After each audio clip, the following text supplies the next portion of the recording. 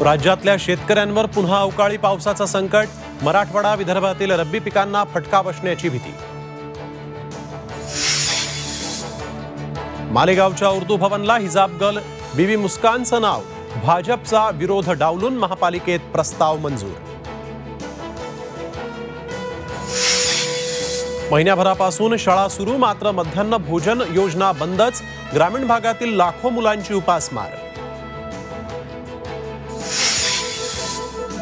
नाशिकमध्ये मालमत्तेसाठी शेजाऱ्यांकडून पितापुत्राची हत्या डिमॅट अकाउंटमुळे फुटलं हत्येचं बिंग आरोपी गजाड सोमय्यांनी यांनी साडेसात हजार कोटींचा घोटाळा केल्याचा राऊतांचा गंभीर आरोप फडणवीस शहांच्या नावाने. चारशे कोटींची खंडणी सोमय्यांवर आरोप केल्यानंतर राऊत मुख्यमंत्र्यांच्या भेटीला. मालेगाव स्फोटातील आरोपी कर्नल पुरोहितशी फडणवीसांचं हस्तांदोलन. व्हिडिओ शेअर करत सचिन सावंतांचा आरोप तर तुमच्या नेत्याचे दाऊदशी संबंध भातकळकरांचा पलटवार.